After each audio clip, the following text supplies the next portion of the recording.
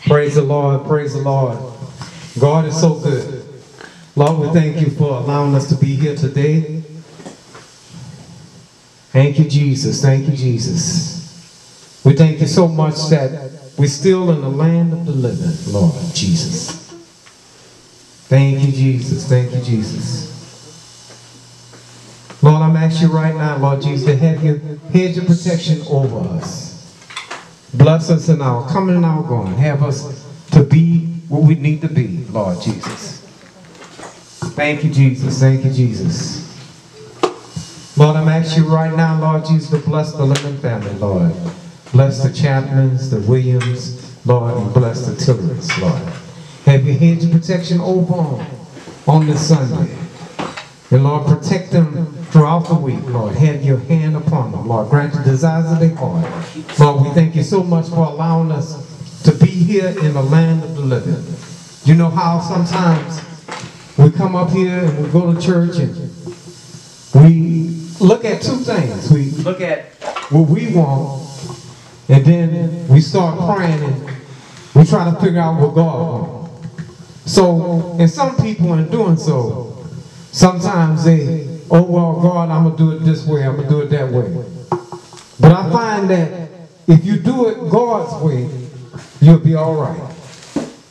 There have people in this world, they get frustrated they, don't, they get tired of waiting for certain things that they want or they desire in their life. But I'm telling you, if you just let go and let God in your life, things will be all right.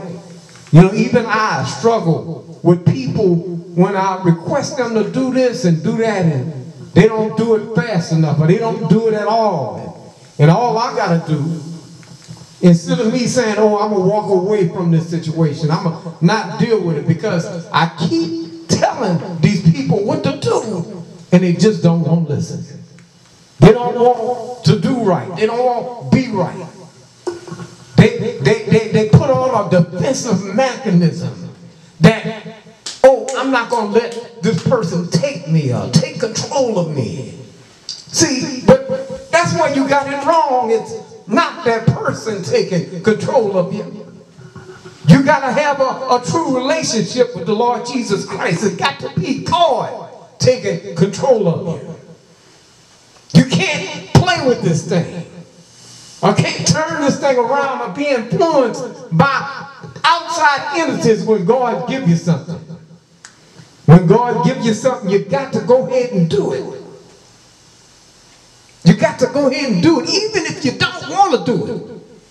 I was reading today, and I was reading this passage scripture, and I said, Lord, I don't even understand what's going on. I don't even want to do it. But although I don't want to do it, I didn't want to do it, I'm going to do what thus said the Lord. At the end of the day, I can't do what, uh, when I'm in a ministry, I can't do what brother say, a sister, even a wife, or a friend. I got to do what God tell me to do. Because some people, you're going to step on their toes. Some people, they're not going to feel right when you do what you do. Holy Spirit. Holy Spirit. I'm just we're just gonna do the course. We ain't gonna do no we're just we're gonna talk about the Holy Spirit today. We're gonna try to get the Holy Spirit going in today. Holy Spirit. Holy Spirit, help me to do right, be right.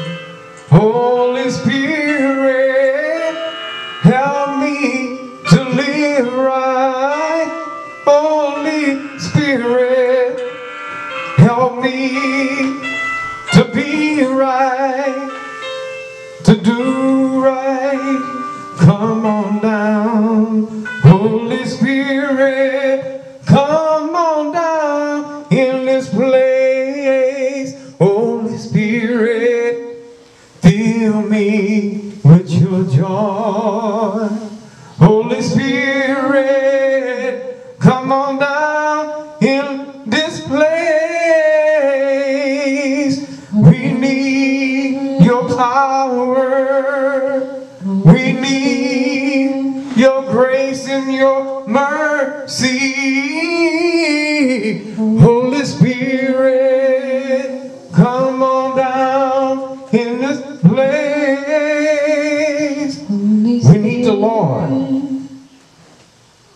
about His Holy Spirit, His, His joy that He fills us with. We can't stop living for God.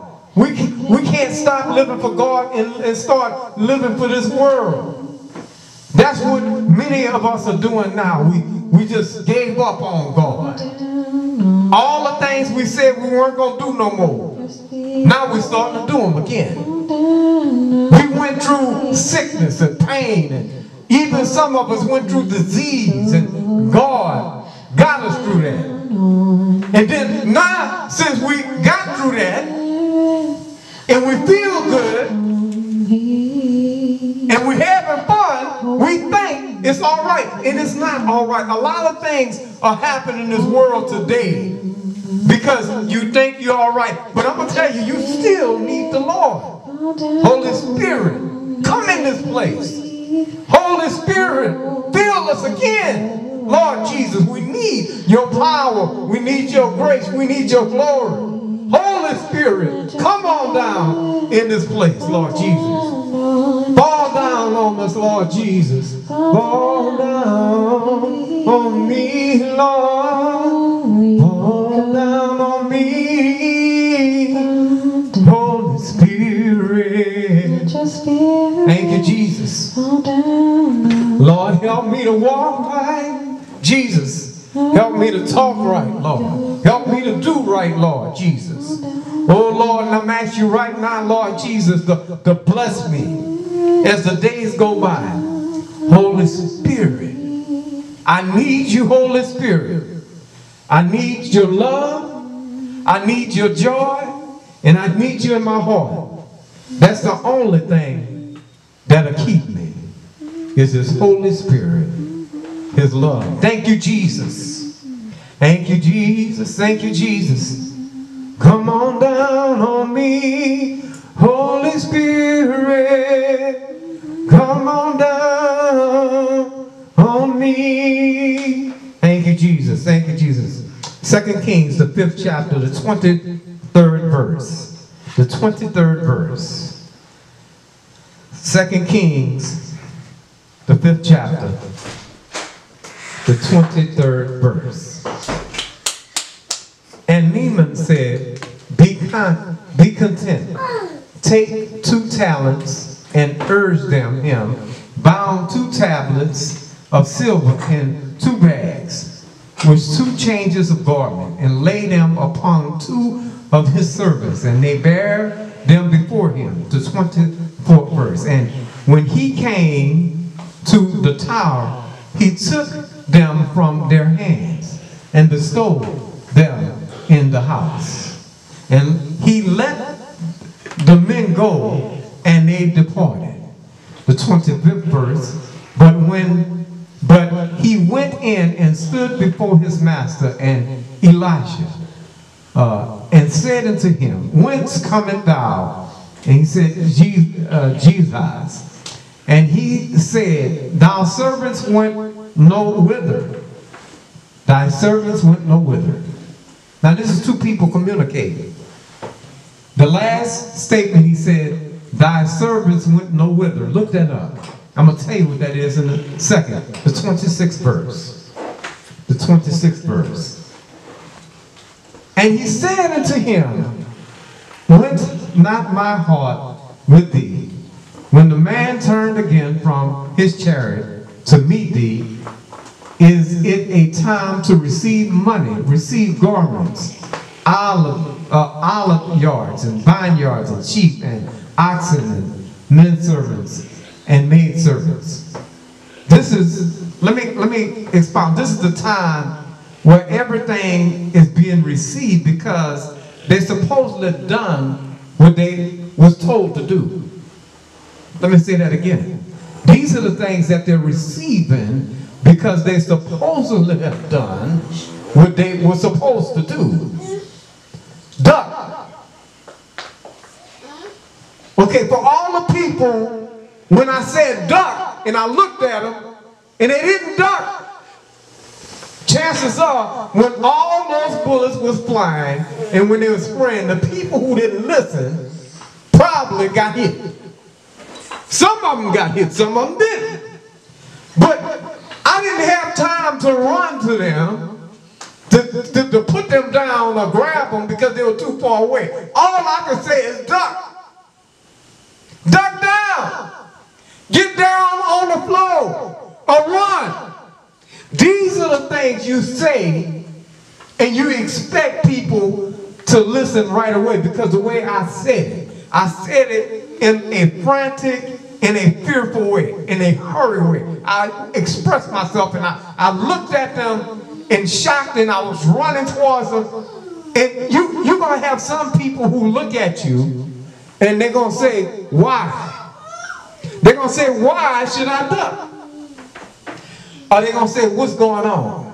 How many people in here, when I said duck, duck, I only saw one person duck. Everybody else just looked at me. Only one person ducked. And this person was standing up when they ducked. They had other people sitting down. They just looked at me. I said, duck. If, if I'm standing up, if I'm sitting down, all I know is the king of the castle or the leader of the house, you don't hear me, said duck. When the leader of the house or the king of the castle said duck, you need to duck. If the king of the, the castle, the leader of the house said run, you need to run. He don't even have time. Million dollars.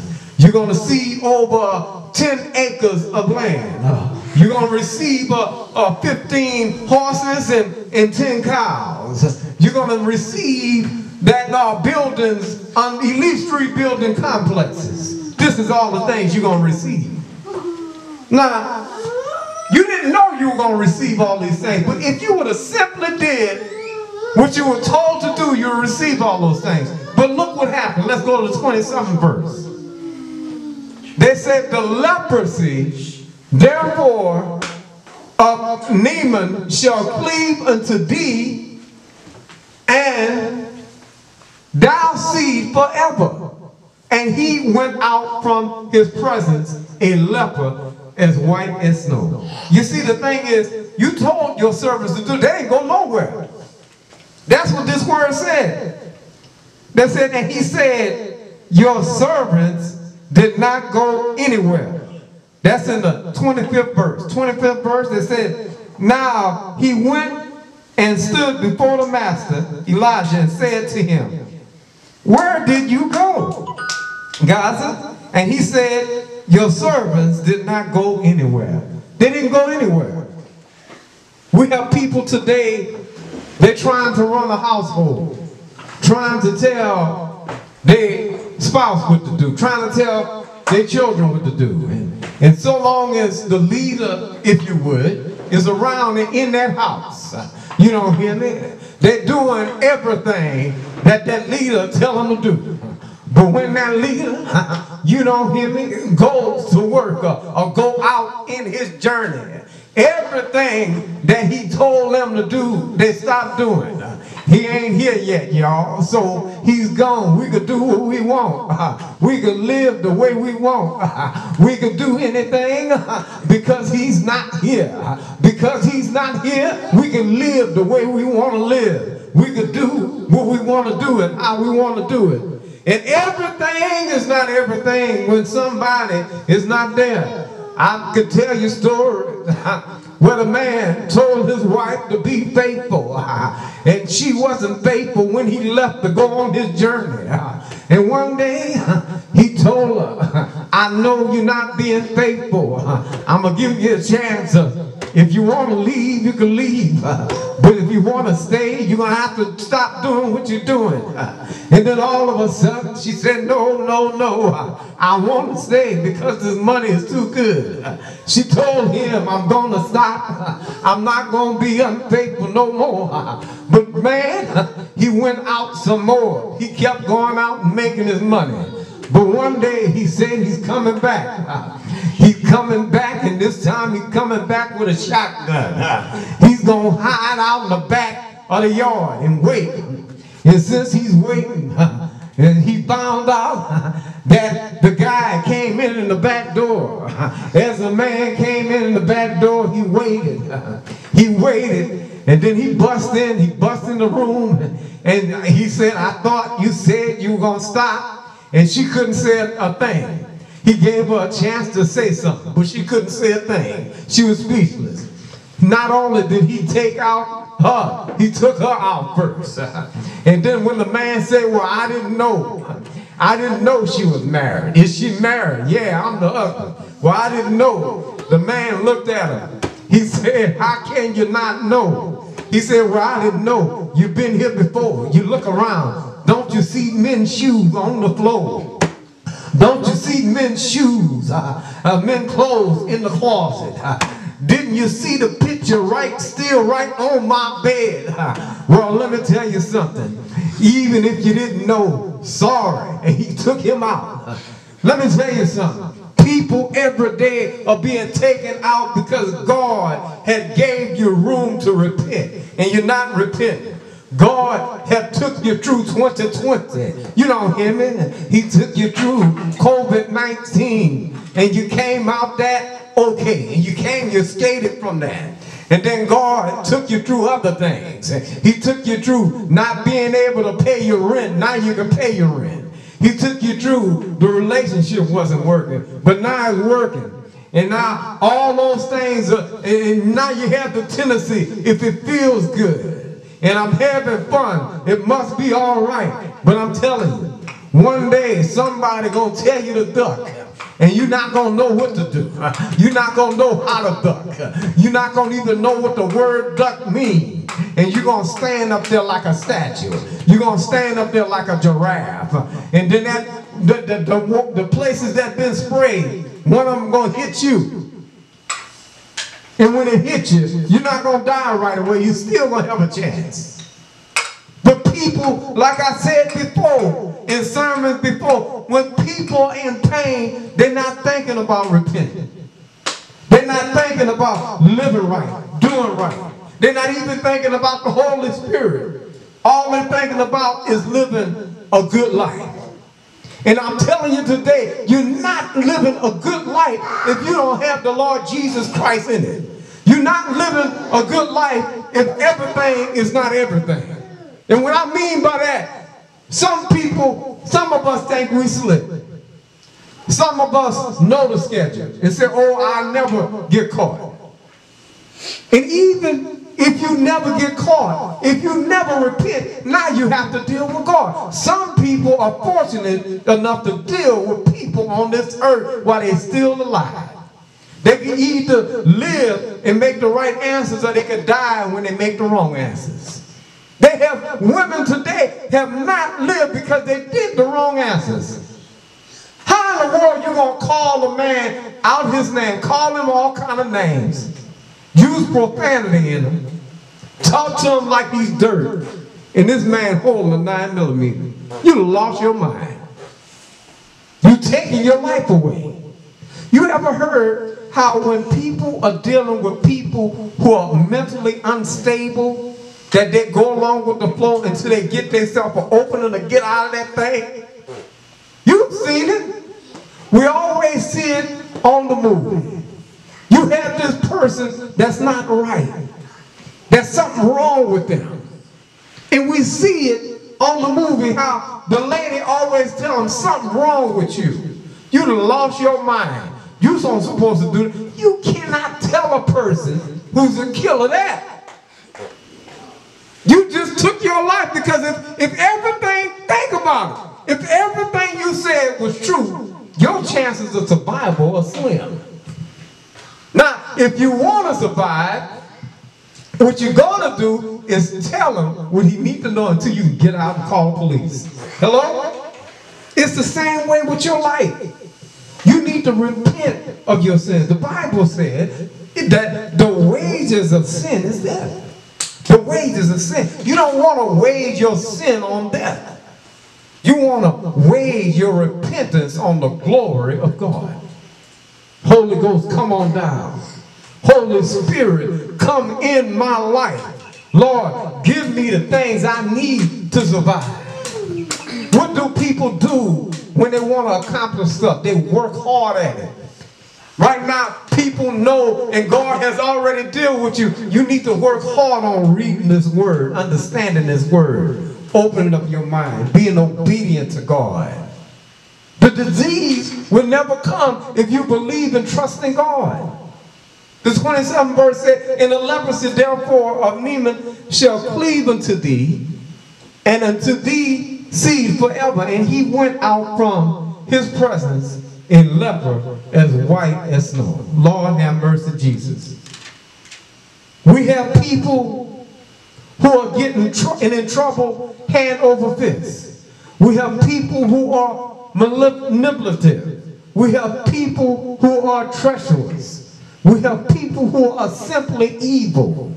I was reading a story about this professional football player, how he made the first round. I mean, maybe the sixth or seventh round. He was a wide receiver. He's real good at what he do. Catching those balls, making money. And he got caught up with this woman. I think it was the second or third woman he got caught up with. And she told him, as he, as he left the place and went back to his home, she called him and told him that she was pregnant. He said, well, he didn't want her to keep it. And she said, no, she wanted to keep it. So he went down there, was spending time with her. He got a rapport with her. And let me tell you what this joker did. Man, and this is an evil person. This is what you call an evil person. He told this woman to follow him, that they're going to a restaurant or something to eat. Now, as this woman, and this is so sad, as this woman followed him, thinking that, oh, he want to be a family. He loved me. He cared for me. He want to do the right thing. She followed this joker. This joker stopped at a stop sign, and the car that was behind her drove on the side of her and shot five bullets. And she got hit, I think, by three of them. And during this time, they said that this lady drove to somebody's house called 911 and she told the people, she said, look, I might not make it, but I want y'all to do everything y'all could so my baby could make it because she was pregnant. She had a child. And during this process, they knew who did it because she was able to call 911 and tell her, her, her you know, her boyfriend her husband, whatever, was involved. So they arrested him. I believe he spent like 13 14 years in prison. And he got out. And she, she died. The kid didn't die, but the kid suffered from a disease because his evil act. And it's so sad. I'm telling you today, don't be the person that disobey God. Don't be the person that don't duck. Don't be the person that's manipulative and trying to get over on somebody. Just simply do the right thing because and in the end, it's going to come back to bite you. They said that things you do in secret will come to light. Even, even if you never get caught by the police, it's even, it's better and be arrested and think about what you did whether you lived a long life and died with sin on your conscience or sin in your body. If you die with that thing in you, if you die with that thing, Lord knows it's between you and God now. And everything you did, you're going to be held accountable for it. Some people never want to take the responsibility for things they do in this life. They want to always skate and get over on somebody. They always want these people, they look at people who work hard and they want to work with them so they can do all the work and they can just sit back and drink coffee or smoke their cigar. There are people in this world, they know you're a superstar, so they'll let you do all the superstar work and they just skate easily through life and say, I'm making this money, I'm to do everything so I won't get hurt, I'm to work as less as I can, but it's to get, catch up with you. Doing the wrong thing always catch up with you. People talk about, I want to do it the short way. I want to take shortcuts. You can shortcut stuff so much until you don't know what you're doing. And the sad thing to say, we have doctors like that. We have doctors who went to medical school. They're taking all these shortcuts until people are dying hand over fist because they decided that they didn't want to learn everything in the medical field. That they wanted to take a shortcut to surgery. And because they took a shortcut, they forgot to sew up a vessel. Or they gave them the wrong medicine. Or they left something in the body. And now infection has set in. And then by the time they got to the infection, it was too late. Because either the person, or they bled out, hemorrhaging. That's internal bleeding. They either bled out or, or, they couldn't take it. Their heart couldn't take it because the surgery was too much for them. But we pray today that everybody that's going through something, God will cover them. That everybody that is, is, is fighting some kind of disease or, or fighting something in their life and they want to get out, we pray that the God will reach out and, and get them, Lord Jesus. Some people who are in sin and been in sin for a long time, they want to get out so bad, but they need somebody to help them or show them the way because they don't know how to get out. I'm telling you to run out that door right now. To run out that door of sin and go to somebody, a Bible-based church, a preacher that's preaching, and because he loves you, he not just want your money. He not just want a big church, a mega church, and he uh, uh, passing over people who really need the Lord. Obedience is very important. Sometimes we want to do what we want to do. But I'm telling you today, it's good to do what thus said the Lord. To read his word. To get on your knees and pray and believe and receive his word. Today, we need to repent of our sins and make about face. We need to get baptized in the name of Jesus because Jesus can wash us white as snow. He could take all the sins away, not some of them. And if you should see that friend that you've known for 15 years and say, oh, I knew you of this and that, I change. I don't do this and that no more. Oh, man, you can't tell me that. Man, you do. No, I don't. God has delivered me. And you could be delivered too. All you have to do is repent of your sins. You don't keep have to living the way you live. You can make about face on all the things that you've done and, and, and just lay your burden down. Just lay it down. God will pick it up and he'll make you anew. Believe and trust in his word. And those diseases that you have, the leprosy, the HIV, the venereal disease, the monkeypox, the COVID-19, God will wipe it away. God will wipe your sins away. You have to repent. You have to repent. You got to make about face. You got to believe and trust in God. You can't stay in the quicksand. The only way a man can survive out of quicksand is he have to move. He got to put one foot in front of the other. Grab that uh, uh, branch. Grab that log and, and, and struggle and fight for your life. Don't just sit there.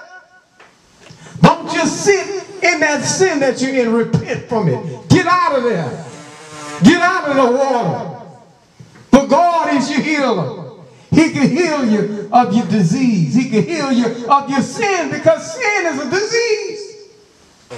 All you have to do is believe and trust in his word. You got to start doing what God wants you to do, not what you want to do. You have to step out on faith. Faith is the substance of things, hope for, things unseen. But if you have faith in God, you could rest assured that God will bring you out. He'll save your soul. He'll make you whole. Believe and trust in God. Come to Jesus. Come to Jesus. He's waiting for you. Obey his word. Look for him Look up to the hills where your help comes. Your help coming from the Lord. Stop living in sin.